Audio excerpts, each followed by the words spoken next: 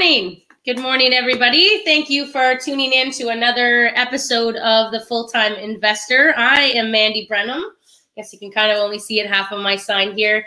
Um, known as a joint venture queen, specializing in asset acquisitions, joint ventures, uh, sharing, teaching, masterminding, mentoring, uh, just soaking up any kind of real estate information that I might be able to get my hands on. So thanks for being here today because it's certainly going to be a worthwhile show.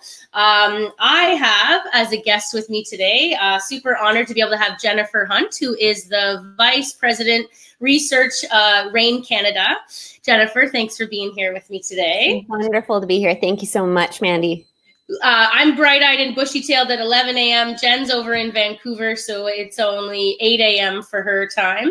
Uh, it's still a pleasure. um, Jennifer's been investing since 2009. Uh, she's been in, included vacation rentals, residential, multi industrial. Um, she even did some creative um, rental units for the Vancouver Olympics. Um, and uh, and one of Canada's first REIAs from REIN Canada. So if you're from the REIN world, uh, REIN is the real estate investing network. I actually met a gentleman last night whose name was Rain, and I said, "Do you are you a member of REIN?" And he said, "No. What is REIN?" So I got to explain it. Um, awesome. So it's a network of people that I'm in um, involved in. And what attracted me to Jennifer, uh, so that all of our listeners know, is Jennifer is a genius when it comes to market research. Well, thank you. yeah uh, you research and read more things than I probably even know where to find those pieces of data to be able to collect. Uh, and I know that churns in your brain and you just spit it out very well. So uh, we're going to take all of this information that you have that's out there collectively for everybody today, and we're going to funnel it through so that people understand what kind of market research they need to do and, uh, and where best to find it. So thank you. Awesome. Yeah, well, my pleasure. And and you mentioned in terms of market research and being a bit of a geek, um, I absolutely love research though to not be um, you know into so much research that you're into paralysis. So this isn't about analysis paralysis. This is about being in action but being strategic and yeah. also mitigating risk. I love to layer on as many foundational pieces so that when you're investing in real estate whether it's a long-term play or a short-term play for your portfolio you're in the right place at the right time and the mar- right market for you Yep. So then let's go high level here and bring this bring this down. So somebody says, "Oh my gosh, I'm going to invest in real estate." And one of their first questions is, "But where do I buy?" And insert your expertise. So how do you help guide people or where are some things that people can start off by researching to be able to know where they should invest? Yeah, there's a, whole number of layers to that question, even right there. So I'm going to actually just step back one more step. And before even beginning where, I would I would encourage people to understand what they want their real estate to do. Um, if they're looking for financial freedom by design, or if they're looking to replace retirement or create retirement income, or if they're looking to replace their income as soon as possible now, all of those factors drive um, what an individual is looking for, what, uh, and then and then we can identify where we can identify the property type and all of those. So just to sort of step back and make sure that you've got a plan. And of course, REIN we support all of our uh, members and community in terms of being able to support and get them onto the path that's right for them. Yeah. And then that being said, in terms of market research, yeah. we have what's called um, REIN's long-term real estate success formula. And we're going to start there because if nothing else, for those of you who are listening, please get your hands on that. Come out to a REIN event. We'll get you the REIN's long-term real estate success formula. And that really drives everything. And if you can get that, you're in good shape. So what that is, is it's a formula that starts with economic health, uh, GDP, gross domestic product. So basically, are there companies coming into a location? Are there um, expansions in terms of the economy? Is a growing. And that correlates and actually pushes and creates employment opportunities. Yeah. And with employment opportunities, i.e., jobs. so people come and then the people move to get a job. And so that's when we see populations start to increase. And those three, like three key drivers, are really foundational. And as long as you have economic health, jobs and population, yeah. then people need a place to rent. And then that drives the, the housing, the rental market. And then the rental market drives the housing market. And ultimately, that's about an 18 month to two year window. So you, you almost, well, not you almost, you get to forecast and predict where a particular location is going. And that's the first foundational piece. So if you can get those sort of eight key drivers in this long-term real estate success formula, you'll you'll be really well positioned. And then of course, Mandy, as you know, I wouldn't stop there. No. so um, we have what's called REIN's Property Goldmine Scorecard, mm-hmm. and um, that's about 40 indicators that an individual uh, and key drivers that an individual will want to look at. So we look at um, economic health, as I mentioned, but then you, you dive into the actual politics, and we call those market influencers. So market influencers are things like interest rates or policies that a government has uh, implemented.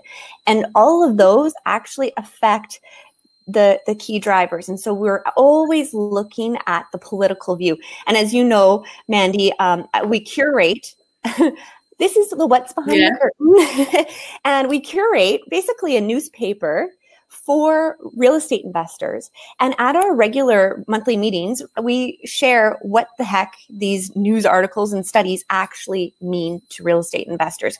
Because a policy over on one side of the country versus a policy over on another side of the country actually makes a difference to your real estate portfolio. So we are always looking ahead yeah. to see how those oh, yeah, and you guys are you're taking uh, documents that I would never read in Vancouver or think that something from you know Quebec has an influence on my market, but you actually bring it all together to be able to see how it all does fit together to be able to uh, to to figure out if it how it affects me uh, with my investment portfolio. But so um, and within that, within that, not necessarily that book there, but your top ten cities in uh, in Ontario to invest. Right there's the top ten cities.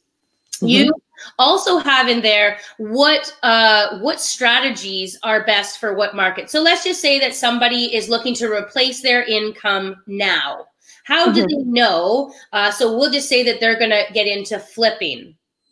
Right. How do they yeah. know if it's a good market for flipping? Yeah, I, I, love that question because it's underneath that question. There's so there's so much to really go on. Um, so we look at when we're doing our top. There's two layers to that, and when we do our top ten towns, we're really applying REIN's Property Goldmine Scorecard. Forty kind of indicators. We assess them across. Uh, a ton of towns in, you know in Ontario. Yeah. I think I saw the gold Goldmine Scorecard. I remember the first time I saw it was in Don Campbell's book, Real Estate Investing in Canada. Yes. So if somebody is looking to see this Goldmine Scorecard, I'm sure we could um, we can forward them to uh, REIN Canada online. But I know it's in Don Campbell's book as well. Yeah, and certainly reach out to us info at REIN Canada. So it's R E I N Canada.com and info at reincanada.com. And for sure, happy to, to share that with you. It's very, very useful. So I've got a great research team. So we not only take that REIN's uh, Goldmine scorecard, but we we actually look at even more indicators yeah. and market influencers. And we're really we're looking at over about 70 to 80 when we're doing and curating uh, the top 10 towns report. That tells us where um, where to invest. Those and ranks the top ten, yeah. and we know those markets. That's awesome. But to your point, just because a market is a top 10 town, that really shows that it's got the economic legs, it's got the employment, but it might not actually be the in terms of the real estate cycle. So we're looking at um, uh, cities that have sort of five, 10 year long term projections. But that doesn't mean to say that it's, you know, hot off the press right now, yep. Um, depending on what you're looking to accomplish. So this, for example, is now I've just got Alberta as an example, but yeah. we look at now the real estate cycle and show you where that particular city is in the real estate cycle, and then what we call our tactics table, how to invest. So I'll give you a quick look at what that would look like. This is um, Okotoks in Alberta, for example, and we oh, here there we go.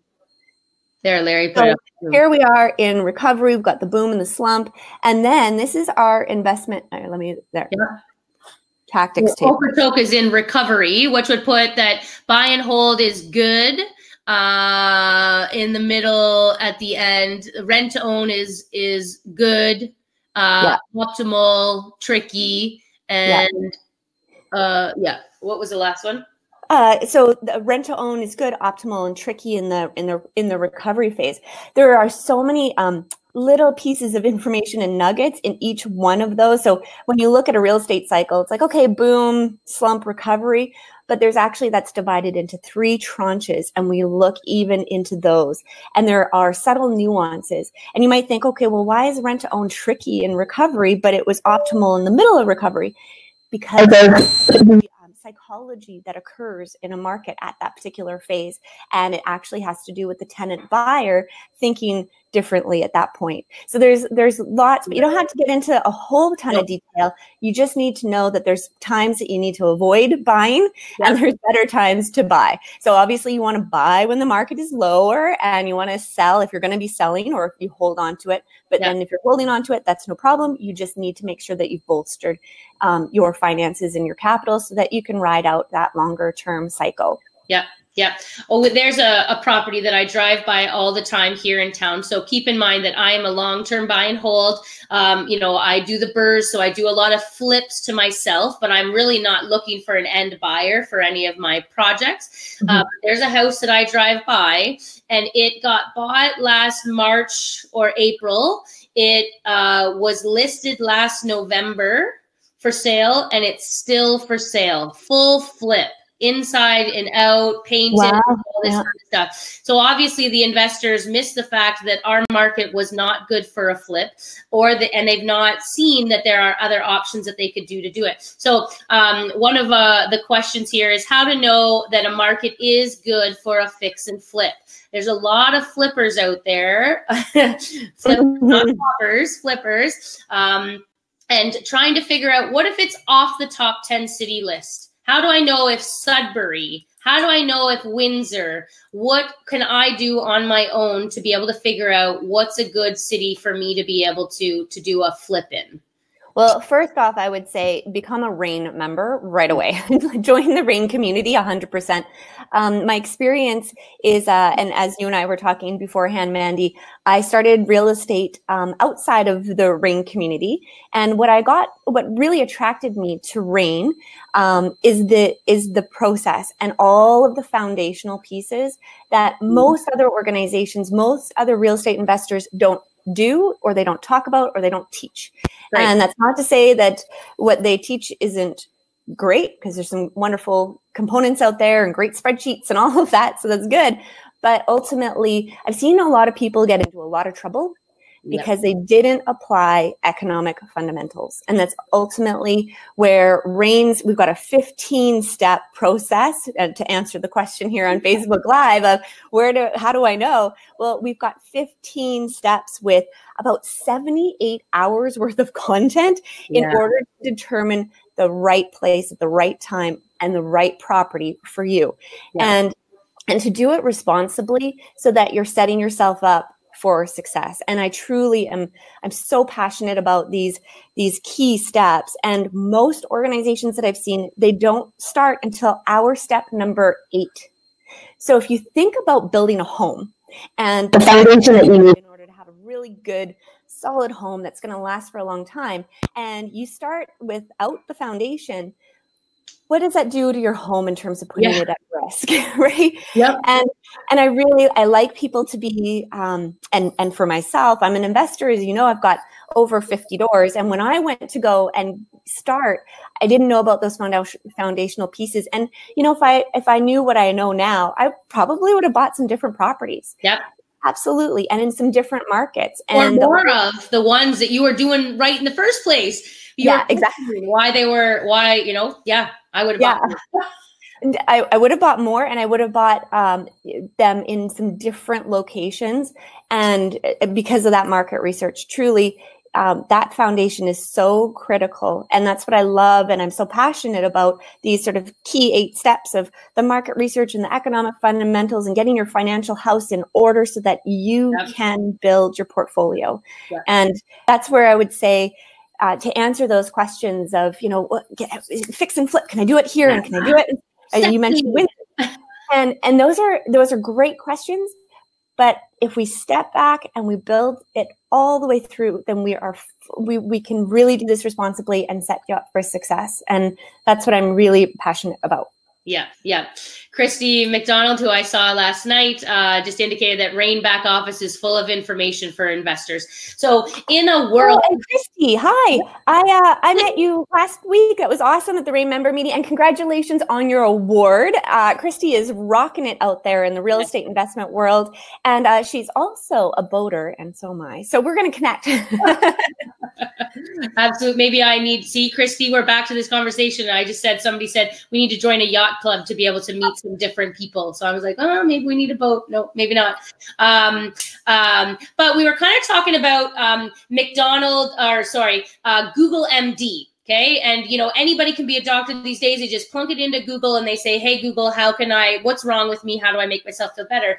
And um, we're getting to that point in real estate to be able to say, like, what's a good place that we can, um, what's a good place to where we can invest? And they think that online is just, they can find, they find so much information. So, you know, being able to package it into a REIN back office. I know when you share a report on millennials, that the research has been done who people who i have qualified already as market experts and analysts and research and i don't need to question the validity of these kind of reports. Um, how do you how do we get people to uh, not just look on google for the information that they feel is best well, and thank you, Mandy. And, and hopefully, well, maybe I'll have to come back and walk through exactly how to do it. And we can do a, a session on, on training on that for sure. And, and you're hundred percent right in, in making sure that you know you take the time one of my one of my key quotes that i've just i live my life by is go slow to go fast and the intention behind that is to just build again that build that foundation figure out your processes figure out what you really need yeah. because um, we were doing uh, this this month actually at our REIN uh, member meetings and it was it, it's something i'm really passionate about of building your your pension plan if you will yeah. like building your retirement income through real estate and I've got a, a, neat way of looking at that that's different than most. Most people will be thinking, oh, cash flow, I got to get cash flow, got to run out and get a well, I thought I had to get 100 doors. So that was stressful. I mean, I got 50 in three years, which was great, but yeah. still stressful.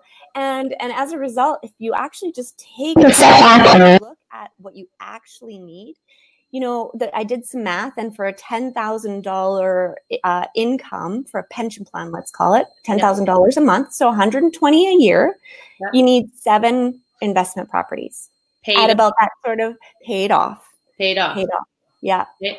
And that's uh, that really can alleviate a lot of pressure. So, uh, you know, I know folks when they just get started, because I was just like that too, running out trying to get properties. If you slow down, go yeah. slow to go fast, you can really um, activate your plan and do it really responsibly. Because seven properties is very different than a hundred, and you may find out. And you know, it was great because at the at the member meeting, our, our community members were like, wow, you know what? I actually only need five, or I've already got my pension plan. Like I've figured it out. And the and the stress and the relief and then you get to play. Then right. you get to create, okay, well, now how can I do it faster? And how can I accelerate this program and pay off my mortgages, you know, yeah. earlier than the amortization period. And all of a sudden there's a huge sense of relief, creativity. Now real estate is fun. It's not a panic. And I really want that for people that uh, when they're investing, that they go slow to go fast and they build what they actually need uh, because the journey can be a lot of fun when the stress is when it's not stressful. So, yeah. Um, There's a yeah. it's a get rich slowly kind of game, if we call it a game, because gosh, I have fun doing this. This is fun for me. Um, but if you are looking at it, you know, if you need seven properties paid off, you you you have to start today. you've got to start to be able to you know take action on that, not just wait. Um, mm-hmm. And so 25 year amortization that, yep, we can, you know, pay that down a little bit.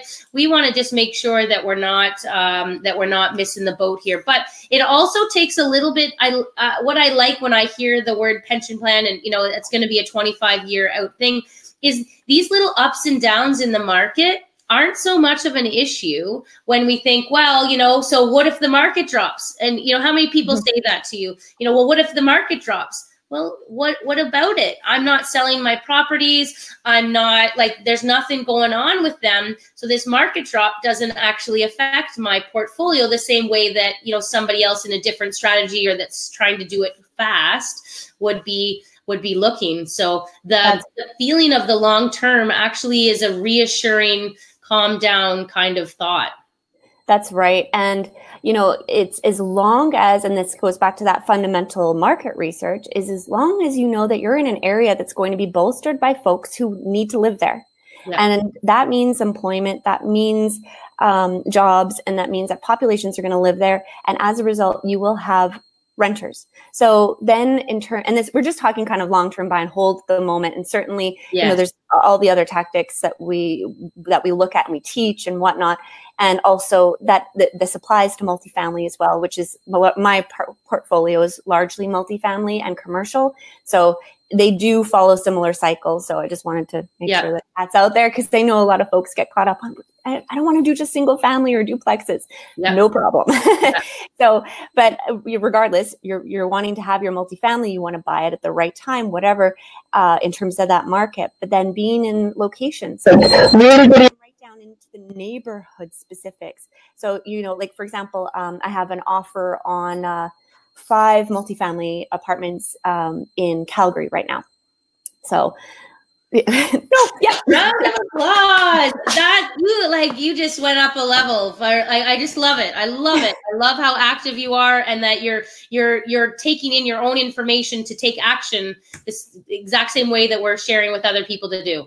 Yeah, well, and Calgary, well, I mean, this is in Calgary. This is, uh, we're actually releasing the next one. This is the last, the latest version from the winter, pardon me, right. winter 2019. Yeah. We're going to be releasing one in September 2019 in three weeks. So you'll be able to see if Calgary has moved. And you'll see that it's currently, um, you know, it's moved from the slump to the end of the slump to recovery and the investment tactics is in recovery is that you know in terms of buy and hold it's an pretty good time to get in. Now we know that the economic, and I know we're in Ontario here, but That's just okay. to show you sort of how it's applied. And so I know that now it's a good time to get into the Calgary market. Yeah. Uh, it's it's still got a lot of runway in terms of recovery. Politically, there's going to be some um, interesting news given that we've got a new premier in place in Alberta. The federal election is coming up on October yeah. 21st, and Alberta is oil driven. So the, the recovery is in place in terms of its economic foundations, but and it's gonna it, it will take a while. But I'm prepared for that, and I know that. And the rental market in Calgary remains very, very strong and will continue to do that. Then layer on our brand new University Effect report that's okay. being launched on September 28th. And now I know that the University of Calgary is worth looking at in terms of having a student housing shortage. Okay. And then I layer on my millennial report, our REIN's millennial yeah. effect report. And now how do I create the right property or, you know, re, re um, uh, renovate, I guess. Repurpose, these, yeah. Repurpose these multifamily units that are close to the university, that are close to transportation, make them attractive to millennials because we know how and we've shared that so you can get you can get your hands on these reports um, on reincanada.com there's opt-ins. So these reports are out there ladies and gentlemen. Please feel free to use them because i do yeah. they work. And so you layer on all those pieces and this this portfolio that i'm looking at and these uh, multifamilies are going to be really really well served uh, for the for the long haul but i'm repositioning them for student rentals and uh, and it's pretty exciting because I'm actually putting into practice what I preach. Yeah, yeah, absolutely, absolutely. Um, uh, and so, millennials, are you? Uh, that's just your choice of of tenant profile. There's still obviously lots of others. If you if you aren't into student rentals or you're not into the high end finishes, there's obviously still a, a very big market for the other side of of the the rentals. Well, yeah, you bet. And actually, so uh, wow. Oh, I can go on this, man. Be careful because you know I can just talk for hours on, on this. Do it. Millennials are 27% of the population in Canada, and they just become the largest demographic in Canada. They haven't surpassed that in the US yet, but in Canada, millennials are the number one. Okay. But boomers are just behind at like 26.5% of the population. So baby boomers who are entering into their senior years are really um, important demographic to consider as well. And what are their needs going to be? And they're quite different. And as a result of course we will be uh, REIN will be producing a senior housing report uh, probably in q1 2020 so coming up this winter. Because yeah. we want to be addressing um, both because your tenant profile might be different. And like yeah. you said, um, Mandy, your tenant profile is based on uh, families, and certainly I've got some properties that that are family driven. So yeah. uh, you know, you just depends yeah. on your neighborhood. Everybody needs a place to live. Yeah. Yeah. So it's uh, and I think every city is different too, and um, mm-hmm. you know you're kind of looking at yeah, it's okay. So this is one of the cities that's on the top ten list, but what I create in Orillia is not the same as what I would create in Toronto or in Hamilton. Um, and right. so you know, but so your renovations are a little bit different. Your you know all your finishes, your rental rates, your options, things like that. Um, definitely. Um, so so here we are. We're doing lots of different uh, aspects of market research. Um, should somebody even be going? Um, so I like we just talked. You're in Vancouver and you're looking in Calgary. We're in Ontario. Um, what about finding a location where it fits, where it feels right, you know, close to you? Like, what's your idea of proximity to the investor? well, you're you're asking some interesting questions because my portfolio, my the the largest portion of my portfolio is actually in Southern Ontario. Okay. But uh, my locations have been uh, so in Chatham, which made an honorary mention in terms yes. of our top 10. Yeah. Um, I, have had properties in downtown Toronto, Barrie, Ontario, um, of course, that was a, it's a great location, um, as well as, as Chatham, as I mentioned, all the way out through um, throughout British Columbia, um, in the Fraser Valley, and also even in Hawaii. Um, so as long as you, which I love, those are my favorite. Yeah. I'm not going to lie. Um, but really, as long as you have your economic fundamentals and your property analysis com- combined, you you can really and your power team and having folks that you trust who are you know nearby on the ground um, your location really is just about getting into a place that suits you it suits the right time in the market um, and it suits your long-term game plan. So i think that's probably the best way to describe yep. like how to choose it. If you're just getting started yeah you might want to start just something that's really close. I really recommend that people that they take the time to learn how to property manage. You don't have to be the property manager. Yep. Yep. But know what, like, learn it so that you can manage your property manager. Yeah. Ultimately, yep. you need to know and ask the right questions, particularly if you are investing further away. Yep. One more really important question that comes up. There's a lot of people that get emotionally involved in their choice of house. Um, or mm. as first investors, they're like, I'm going to move into this myself, or I'm going to buy, uh, Amanda, I'd like your advice on a Costa Rica timeshare. And, you know, you hear that they would like to go there for a month. And so they're adding that, um, they're adding that personal aspect to their property choice how do you guide people through trying to remove the emotion or knowing when it's for your personal use compared to really filtering it strictly as an investor? Yeah there's there yeah hmm. there's a lot uh, in that question for sure mandy. And what i what i like yeah what i like about that is that you where i always go to and as you know is starting with the research starting with the economic fundamentals, making sure that it's in the top 10 towns report, making sure it's in the right phase of the cycle, at least ballpark. I mean, market influencers policies will change any moment, and that can change how a market feels. And so it might feel like it's in a slump, for example.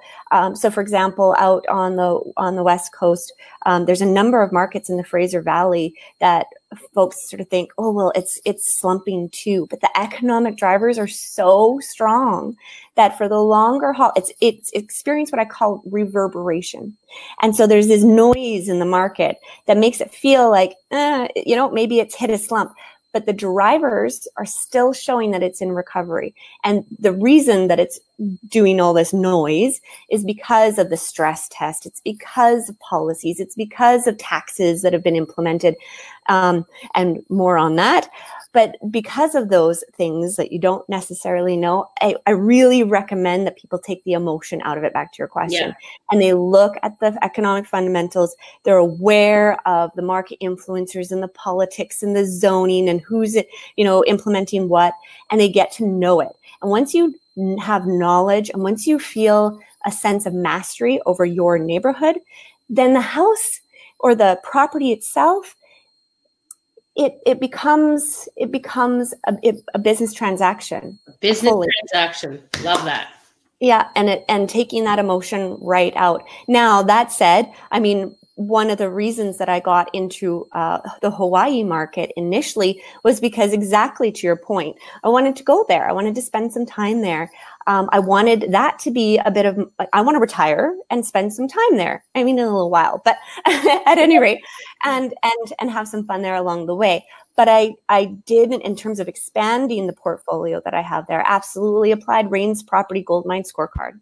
It applies, it works in any country that's really got a, a, basic fundamental democracy that you know with a decently stable government Right. So if you think about the UK or you think about, well, maybe that's a bad example right now, but if, but if you think about Australia, or if you think about uh, the US or whatever have you, it really can be applied there. So I know I keep coming back to REIN's Property Gold Mine Scorecard, but it really is such a foundational piece and it just removes the emotion so yeah. that we're not making decisions based on on on belief systems we're making them based on facts and we're creating that foundation for our future Love it. Love it. Love it. Love it. And again, we you can't build a house without the foundation. You need the foundation and you know, market analysis, knowing what kind of market you're getting in, where your property is, what is going on outside of your little property in the four do- the four walls and the and the roof and uh yeah. and, and and feeling that, right? Um yeah.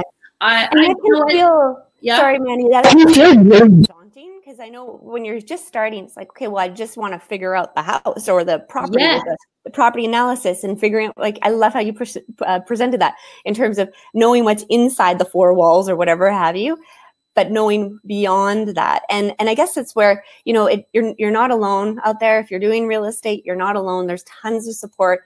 I mean, real estate investing, um, investing in Canada, the books, real estate investment network. Like we're here to support you. We've got the answers. We've been doing this for 27 years yeah. as a company in terms of our research and our unbiased approach. We don't care if you buy real estate or not.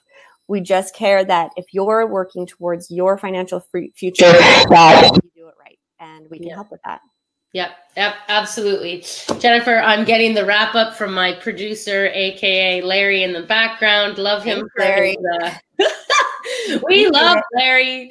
Um, so thank you so much for coming out. Um, again, maybe just touch on where people can find out some more information or how they can get a hold of you. Perfect. So you can uh, check out our website at reincanada.com. So it's R E I N Canada.com. And then in the link that I think just showed up below.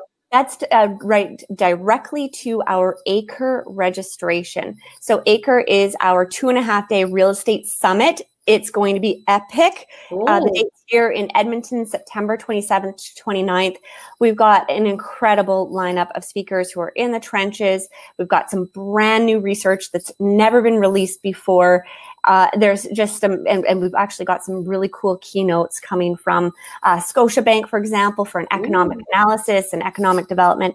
And then we actually have also our uh, Acre Real Estate Summit coming up November 1st, 2nd, and 3rd in British Columbia.